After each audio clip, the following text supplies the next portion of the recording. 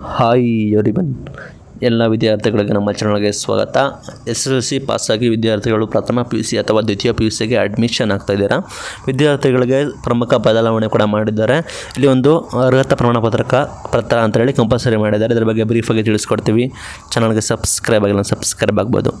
ಇಲ್ಲಿ ವಿದ್ಯಾರ್ಥಿಗಳಿಗೆ ಹೊಸದಾಗಿ ಅರ್ಹತಾ ಪ್ರಮಾಣ ಪತ್ರ ಸಲ್ಲಿಕೆ ಮಾಡಬೇಕಾಗುತ್ತೆ. ಇದು ಈ ವರ್ಷದಿಂದ ಹೊಸದಾಗಿ ತಂದಿದ್ದಾರೆ. ಇಲ್ಲಿ ಹೇಗೆ ಅಂತ ಇಲ್ಲಿ ಶಿಕ್ಷಣ ಇಲಾಖೆಯವರು ಹೇಳಿದ್ದಾರೆ. ಕೇಂದ್ರ ಇಲಾಖೆಯಿಂದ ಇಂತಹ ಪ್ರಮಾಣ ಪತ್ರ ನೀಡಲು ಸಾಕಷ್ಟು ಸಿಬ್ಬಂದಿ ಮತ್ತು ಸಮಯ ಬೇಕಿತ್ತು, ಆದರೆ ಈಗ ಹೊಸ ಪ್ರಯೋಗದಿಂದ ಇಲಾಖೆಯು ಬೇಗನೂ ನಿಮಗೆ ಈ ರೀತಿ ನಿಮಗೆ ಕೊಡ್ತಾರೆ. ದ್ವಿತೀಯ ಪಿ ಯು ಸಿ ಹಾಗೂ ಇತರೆ ವಿಚಾರದಲ್ಲೂ ಕೂಡ ಇಂತಹ ಪ್ರಯೋಗಗಳ ಕುರಿತು ಚಿಂತನೆ ಕೂಡ ನಡೀತಾ ಇದೆ ಅಂತ ಹೇಳಿದ್ದಾರೆ. ಇಲ್ಲಿ ನಿಮಗೆ ಪ್ರಥಮ ಮತ್ತು ವರ್ಷದ ಪಿ ಯು ಸಿ ವಿದ್ಯಾರ್ಥಿಗಳಿಗೆ, ಸಿ ಬಿ ಎಸ್ ಅಥವಾ ಐ ಸಿ ಸಿ ವಿದ್ಯಾರ್ಥಿಗಳಿಗೆ ತಾವು ಕಾಲೇಜಿಗೆ ಸೇರುವ ಪ್ರಾಂಶುಪಾಲರಿಂದ ಅರ್ಜಿ ಪ್ರಮಾಣ ಪತ್ರವನ್ನು ಕೂಡ ಪಡೆಯಬೇಕಾಗುತ್ತೆ. ಪದವಿ ಪೂರ್ವ ಇಲಾಖೆಯಿಂದ ಆಲ್ರೆಡಿ ಅನೌನ್ಸ್ಮೆಂಟ್ ಕೂಡ ಮಾಡಿದ್ದಾರೆ. ಇದನ್ನು ಪ್ರಾಂಶುಪಾಲರಿಗೆ ಹೊಣೆ ಕೊಟ್ಟಿದ್ದಾರೆ. ಪ್ರಾಂಶುಪಾಲರು ನೀವು ಹೋದ ನಂತರ ನಿಮ್ಮ ಡೀಟೇಲ್ಸನ್ನು ತಗೊಂಡು ಅವರು ಆನ್ಲೈನಲ್ಲಿ ಆಗಿ ಅಪ್ಲೈ ಮಾಡಿ ನಂತರ ನಿಮಗೆ ಫೀಸ್ನೆಲ್ಲ ಕಟ್ಟಿ ನಿಮ್ಮೊಂದು ಅರ್ಹತಾ ಪ್ರಮಾಣ ಪತ್ರ ಅಂದರೆ ನೀವು ಇದಕ್ಕೆ ಎಲಿಜಿಬಲ್ ಇದ್ದೀರ ಅಂತ ಒಂದು ಪ್ರಮಾಣ ಪತ್ರ ಕೊಡ್ತಾರೆ ಅರ್ಹತಾ ಪ್ರಮಾಣ ಪತ್ರ ಬಂದರೆ ವಿದ್ಯಾರ್ಥಿಗಳು ನೀವು ಅಡ್ಮಿಷನ್ಗೆ ಎಲಿಜಿಬಲ್ ಇದ್ದೀರ ಅಂತ ಪ್ರಥಮ ಪಿ ಯು ಸಿ ಅಂದರೆ ಪಿ ಯು ಸಿ ಅಡ್ಮಿಷನ್ಗೆ ಅದನ್ನು ವಿದ್ಯಾರ್ಥಿಗಳು ಕೊಡ್ತಾರೆ.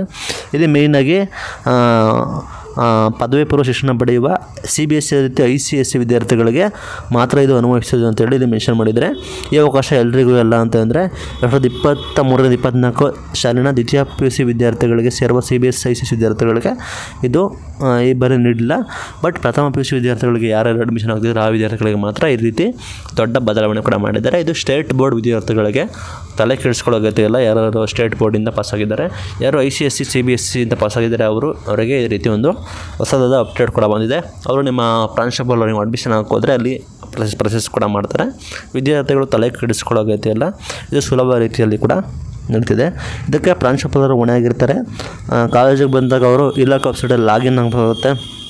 ನಂತರ ಬೇಕಾದ ಶುಲ್ಕವನ್ನು ಕೂಡ ಆನ್ಲೈನಲ್ಲಿ ಪಾವತಿ ಮಾಡಬೇಕಾಗತ್ತೆ. ಅದರ ಬಗ್ಗೆ ಕೊಟ್ಟಿದ್ದಾರೆ. ಬಳಿಕ ಡೌನ್ಲೋಡ್ ಮಾಡಬೇಕಾಗುತ್ತೆ. ನಂತರ ದೃಢೀಕರಣವನ್ನು ಸಾಫ್ಟ್ವೇರ್ನಲ್ಲಿ ಕುರಿತು ಮಾಹಿತಿಯನ್ನು ನೀಡಬೇಕಾಗುತ್ತೆ. ನಂತರ ಅರ್ಹತಾ ಪ್ರಮಾಣಪತ್ರವನ್ನು ಕೂಡ ಜನರೇಟ್ ಮಾಡ್ತಾರೆ. ಇದು ಇವತ್ತಿನ ವಿಡಿಯೋ ಇದೇ ರೀತಿ ಡೈಲಿ ಅಪ್ಡೇಟ್ಸ್ಗಾಗಿ